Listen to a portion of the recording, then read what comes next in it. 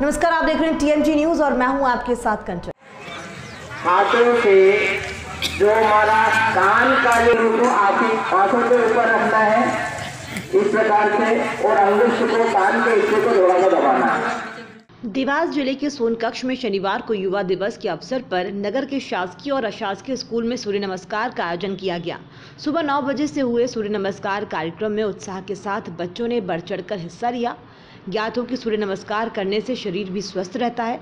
दूसरा, बच्चों में शारीरिक और मानसिक विकास की वृद्धि भी होती है। दूसरी ओर, सोनकक्ष और नगर पीपल रावा का शासकीय हाई सेकेंडरी स्कूल हमेशा से इस प्रकार के उत्कृष्ट कार्यों के लिए क्षेत्र में जाना पहचाना जाता है।